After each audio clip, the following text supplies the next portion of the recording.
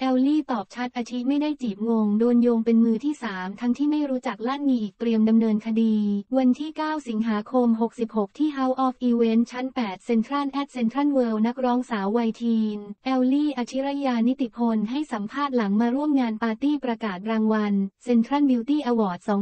2023 ถึงเรื่องที่โดนโยงเป็น หน้ากากผักขมปีปมทำคู่รักวัยทีนอาชิมิยา เลิกกัน เหตุฝ่ายชายทักแชทไปจีบ โดยแอลลี่เผยว่า หนูเห็นข่าวตอนอยู่อเมริกาตอนที่เห็นก็ตกใจมาก เพราะว่าหนูไม่เคยได้ยินอะไรเลย เคยได้ยินชื่ออาชีจากแค่พ่อแม่เพราะว่าคุณพ่อคุณแม่รู้จักกัน แล้วก็น่าจะเคยเจอตอนอายุประมาณ 2-3 ขวบมังคะนั่นคือครั้งสุดท้ายที่เจอแล้ว หลังจากนั้นก็ไม่เคยเจออีกเลยค่ะหนูก็เลยงงมาก แล้วก็เลยลองไปดูใน DM DM ก็ไม่มีค่ะ แล้วก็ไม่มีคอนแทคไลน์ไม่มีอะไรเลยคำว่า หน้ากากผักขมปีหวยเลยมาออกที่เรา หนูเป็นหน้ากากผักรวมนะคะ แต่ว่าก็ตกใจเหมือนกันว่ามาได้ยังไง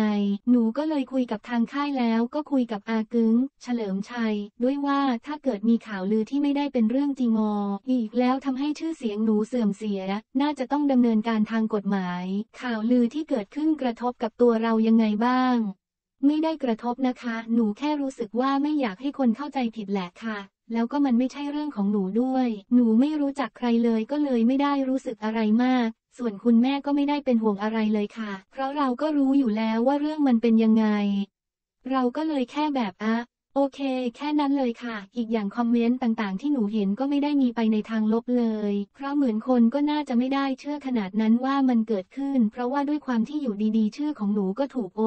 ยงเข้ามาเลยแล้วเหมือนเรื่องมันก็ไม่ได้เมคเซนเท่าไหร่ หนูก็เลยชิลมากๆ ใช่ค่ะ หนูแค่กลัวเรื่องนั้น เพราะว่าหนูเป็นคนที่ไม่โอเคกับเรื่องอะไรแบบนั้นอยู่แล้ว แล้วก็จะไม่มีวันทำอะไรแบบนั้นเลยค่ะ ถือว่าเป็นเรื่องของความสัมพันธ์คนอื่นมากกว่า ได้คุยเรื่องนี้กับอาชีไหม ไม่ได้คุยเลยค่ะ เพราะว่าไม่ได้รู้จักกัน สรุปคืออาชีไม่ได้จีบ ไม่เคยจีบค่ะ แล้วก็ไม่เคยคุยกันด้วย ไม่มีไลน์ไม่มีคอนแทคอะไรเลย ตอนนี้โสดโสดค่ะ แต่ไม่เหงาเพราะว่าหนูชอบตัวเอง หัวเราะ ถือเป็นดราม่าที่หนักที่สุดที่เคยเจอเลยไหม หนูว่าหนูเคยเจอหนักกว่านี้ เรื่องนี้พอมันไม่จริงแล้วหนูไม่เกี่ยวหนูก็เลยแบบโอ้ it's okay เพราะว่าเราก็มีสิ่งที่จะมาพูดว่าเราไม่เกี่ยวนะคะ